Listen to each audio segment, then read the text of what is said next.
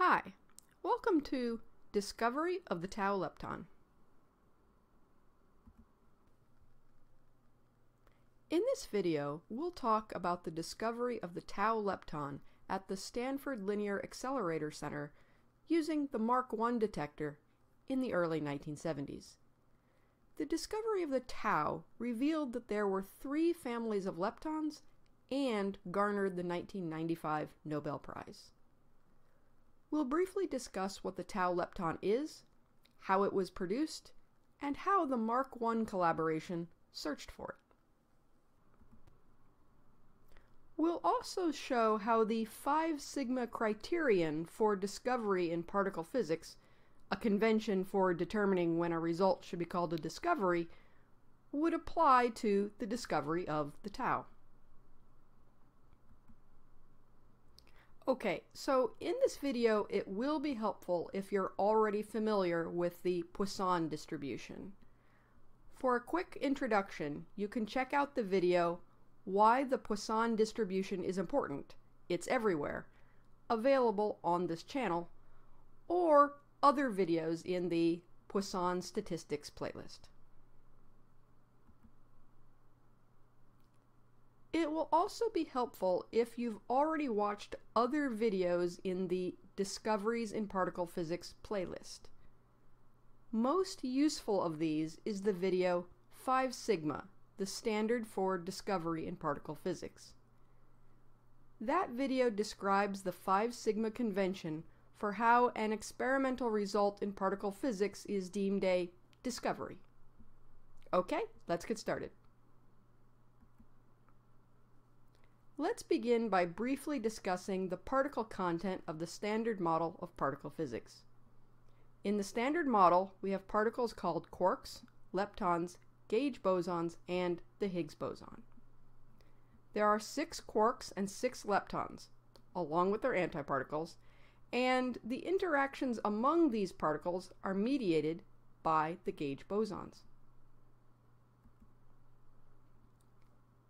Both the quarks and the leptons are arranged into three pairs, and here I'm just showing the particles, not the antiparticles. So the quarks are the up down, charm, strange, top, and bottom quarks, respectively. And the leptons are the electron, the muon, the tau, and their respective neutrinos. So the tau, the lepton in the lower right-hand corner, is the particle that we're looking at in this video. Okay, so as the tau is a lepton, let's take a brief look at the leptons. You're probably familiar with the electron, E minus. It is electrically charged with charge minus 1. The tau minus, and also the mu minus, are like the electron, with charge minus 1, but they're heavier. Additionally, there is a neutral lepton called a neutrino for each of these charged leptons. Before the discovery of the tau, it was quite mysterious why nature would have two leptons, the electron and the muon, that appeared to be exact copies of each other, except for their masses. Today we know there are three families of quarks and leptons. Except for the particle masses, these families are copies of each other. But we still don't know why nature does this. This is an active area of research. Okay, I should give a quick note about notation. When we need to distinguish a tau minus, which has a charge of minus 1, from its antiparticle, which has charge plus 1, we'll write it as tau minus. Its antiparticle we'll write as tau plus. And when we mean either of them, we'll write it as tau plus or minus. Sometimes I'll refer to this as tau plus or minus, and sometimes I'll just refer to it as tau. The notation is similar for the E plus and minus and the mu plus and minus. However, like the electron E minus, the E plus also has its own name, the positron. And finally, antineutrinos are denoted with bars over them, so nu bar. Okay, now let's look at some of the ways that a tau interacts with other particles.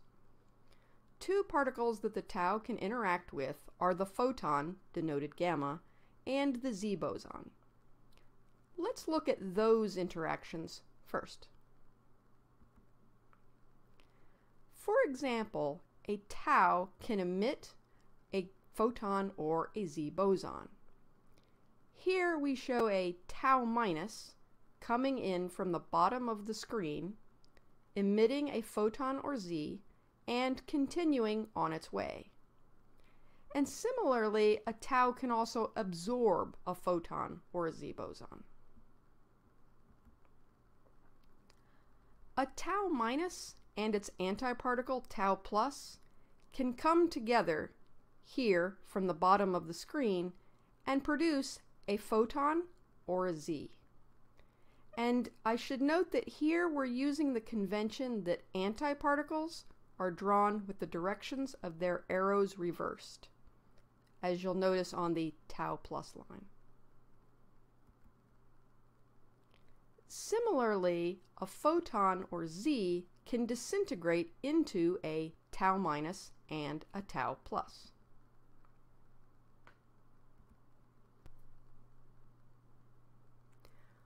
Okay, so we said that the three families are copies of each other except for the particle masses. So the E and the tau, charged leptons from different families, have different masses but the same interactions. In particular, the E plus or minus interacts in the same ways with the photon and the Z as the tau plus or minus does.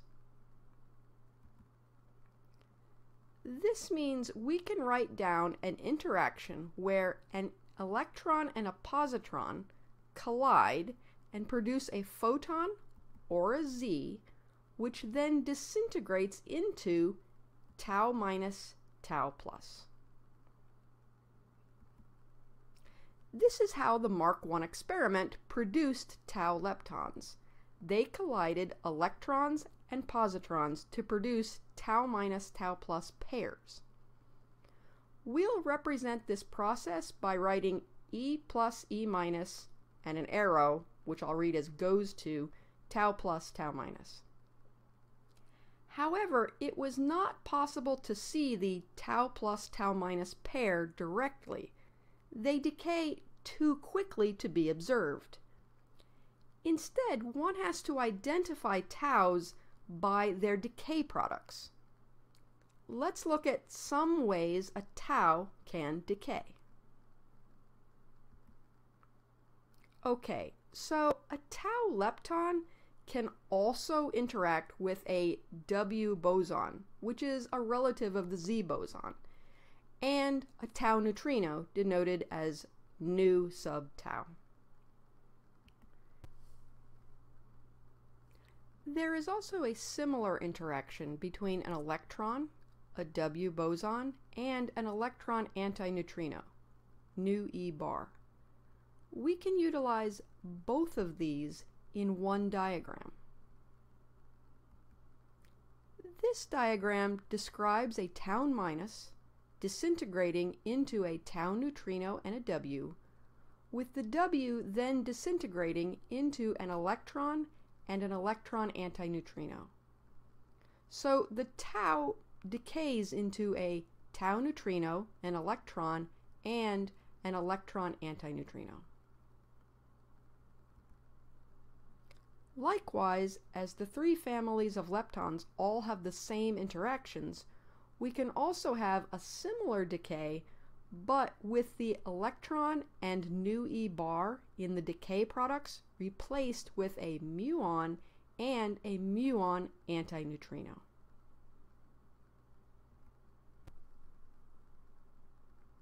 There are also other possible decays of the tau minus, but the two that we've mentioned, where the tau minus goes to either an E minus or a mu minus, a neutrino and an antineutrino, along with the analogous decays for the tau plus, which contain either a positron or a mu plus, are the ones relevant for the Mark I experiment.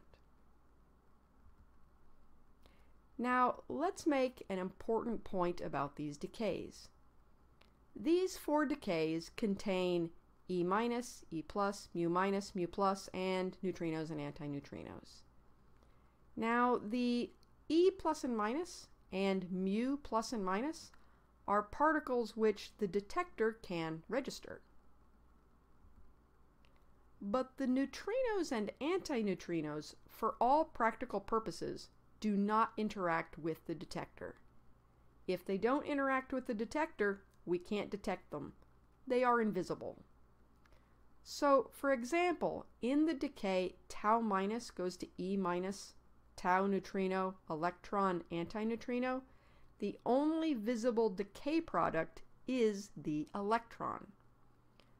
So in order to see the process E plus E minus goes to tau plus tau minus using these decays, you have four options of what to look for.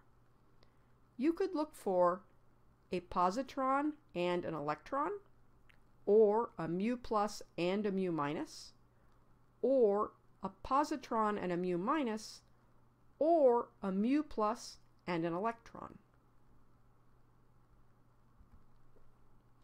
But these four options are not all equally useful.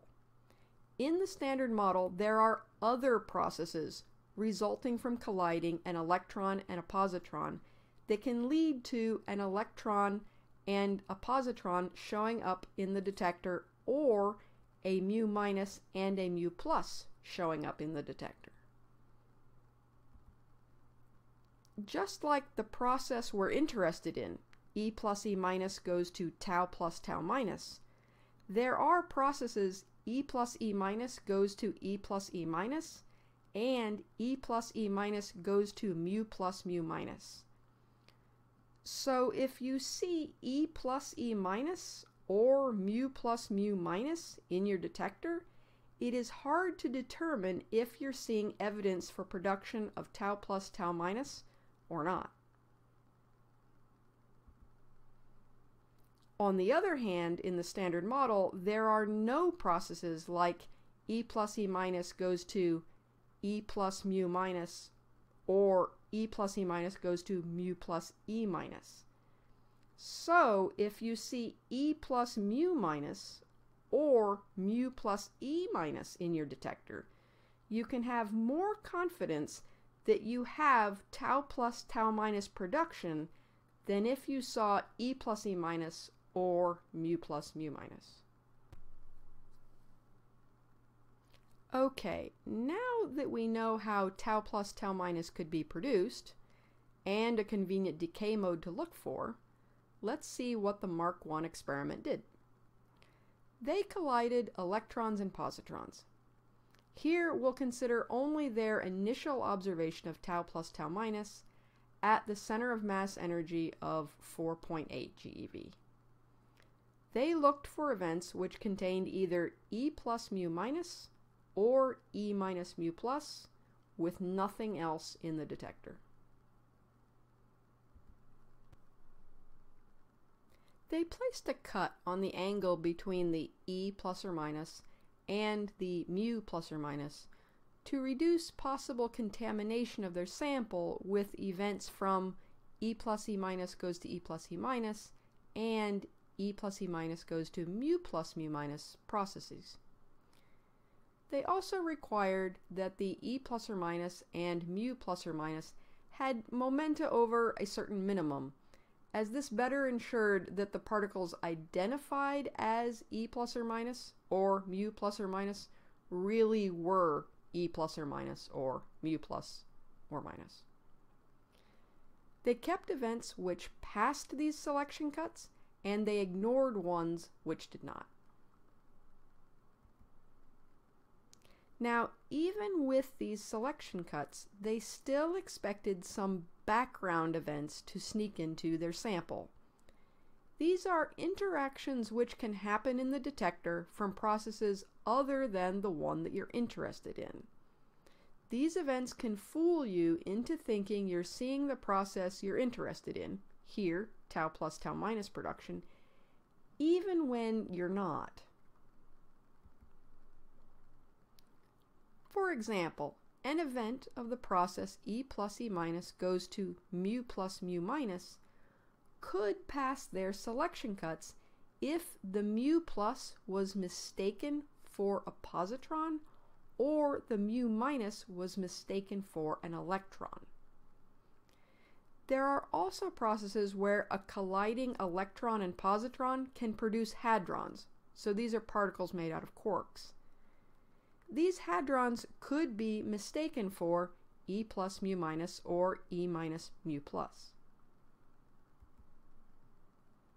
It could also be that hadrons are produced and one of these hadrons decays producing a muon and another decays producing an E plus or minus. Usually, decays of hadrons would also leave other particles in the detector.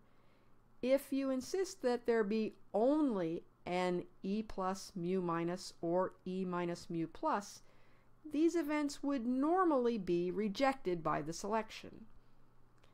But detectors are not perfect.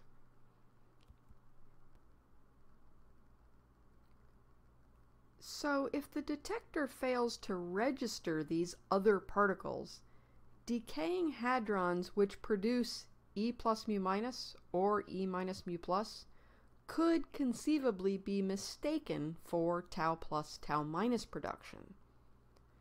So even if you see events that look like they contain only E plus mu minus or E minus mu plus, that doesn't necessarily mean you've discovered tau plus tau minus production.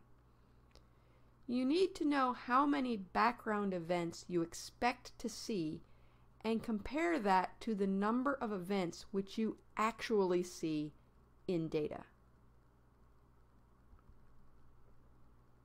Okay, here is the expected background Mark 1 calculated and how many events they actually observed in their data. So the expected background was 4.7 plus or minus 1.2 events, and they actually observed 24 events. Now, with an expected background of 4.7 plus or minus 1.2 events and 24 events actually showing up in their data, it is easy to believe that something other than background processes is going on in the data. Okay, now let's ask, does this observation satisfy the 5 sigma convention for discovery in particle physics? For a description of this criterion, we're going to refer to the other videos in the Discoveries in Particle Physics playlist. Here, we'll just show how we check the criterion for this particular case of having an expected background of 4.7 plus or minus 1.2 events and 24 events observed. Okay, so let's assume momentarily that the tau lepton does not exist, and there is nothing that could go on in the data other than background processes. This is the null hypothesis. Let's also pretend that it's the early 1970s and the experiment hasn't been carried out yet. Assuming the null hypothesis, when we do the experiment, what's the probability of observing 24 or more events? If that probability, also known as a p-value, is less than 3 times 10 to the minus 7, we say that the 5 sigma criterion is fulfilled. Okay, so the expected background is 4.7 plus or minus 1.2 events the observed number of background events will not be the same as the expected number. the observed number will be Poisson distributed with a mean equal to the expected number of background events. Note that the background estimate itself has an error bar. We'll come back to this in a minute. If the expected background was 4.7 events with no error bar, the p-value calculation would be simpler. It would be the probability to observe 24 or more events if the expected background was 4.7. The probability to observe m events when lambda are expected is given by the Poisson distribution. So the probability to observe m events given an expected number lambda is equal to lambda to the m over m factorial times e to the minus lambda. So, if the expected background was 4.7 events, again with no error bar, we would set lambda equal 4.7 and sum over the observed number m from 24 to infinity.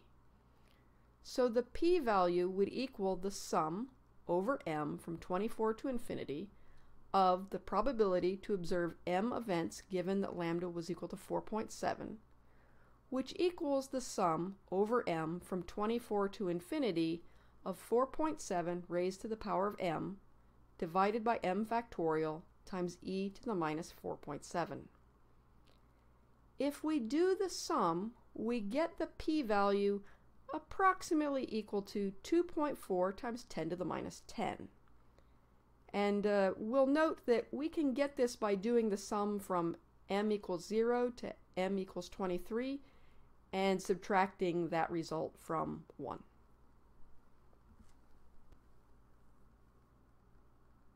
So the p-value is approximately equal to 2.4 times 10 to the minus 10, which is much, much less than 3 times 10 to the minus 7.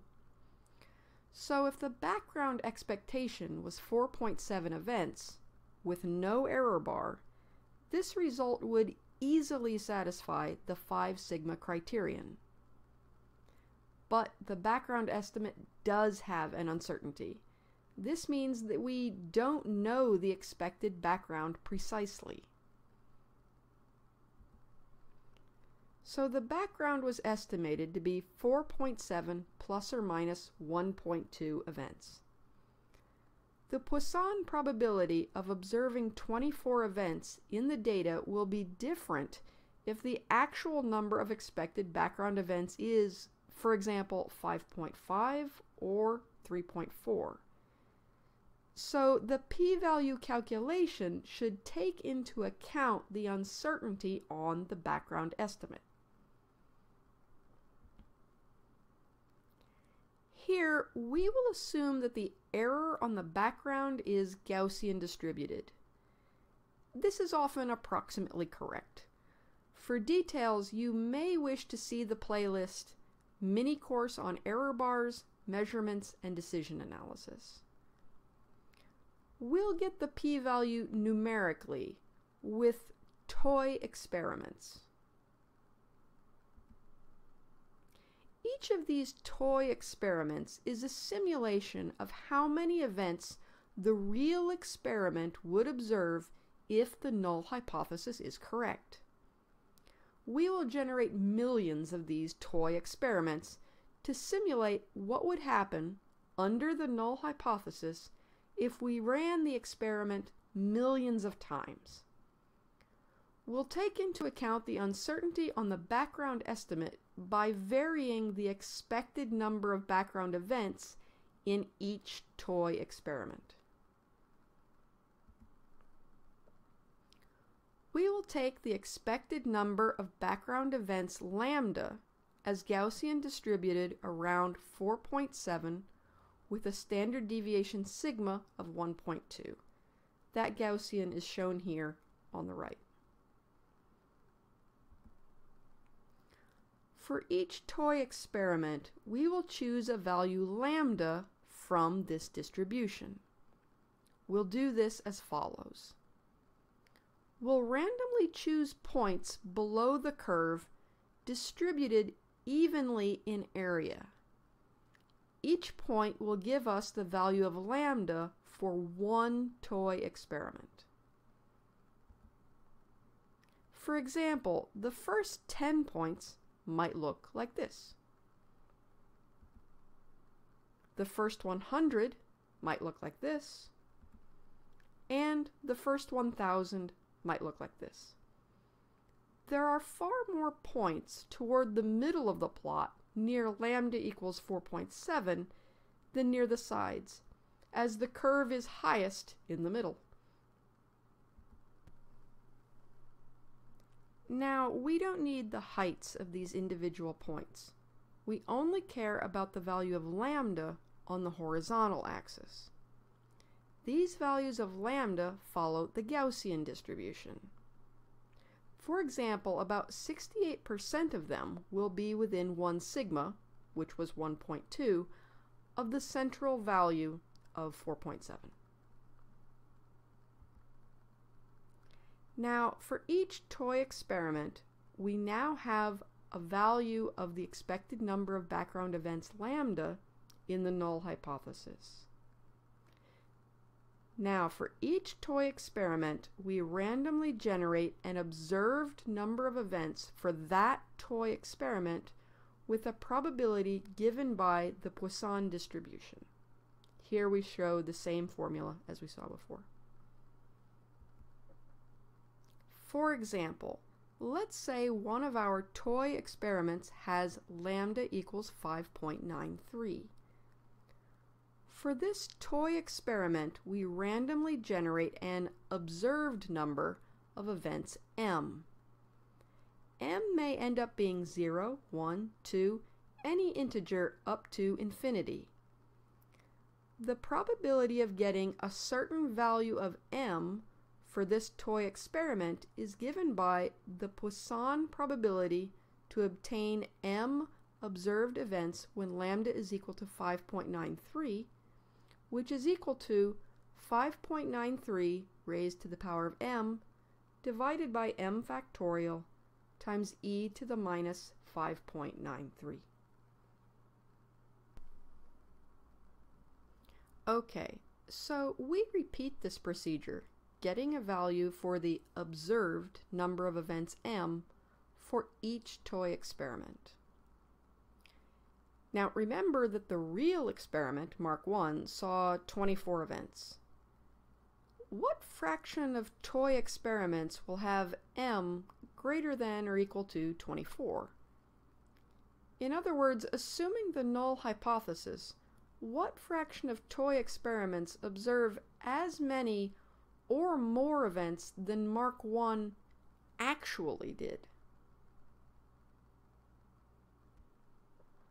This fraction is our p-value. If this number is less than 3 times 10 to the minus 7, the result from Mark 1 satisfies the 5 sigma convention. So we here at Think Like a Physicist generated 200 million toy experiments and 15 of them had m of 24 or more. So, in the null hypothesis, where only background events can show up in the detector, getting 24 or more events observed would be exceedingly rare. Okay, finally, let's check the numbers. We generated 200 million toy experiments and 15 of them had m of 24 or more. 15 divided by 200 million is equal to 7.5 times 10 to the minus 8, which is comfortably less than 3 times 10 to the minus 7. So yes, the Mark 1 result does satisfy the 5 sigma convention. Okay, let's summarize. In this video, we looked at the discovery of the tau lepton by the Mark I collaboration at SLAC in the 1970s. They collided electrons and positrons to produce tau plus tau minus, and then looked at the case where one of their decays contains a mu plus or minus and the other contains an e plus or minus. The discovery of the tau lepton revealed that there are three families of leptons, a feature of the universe which is still a current topic of research today.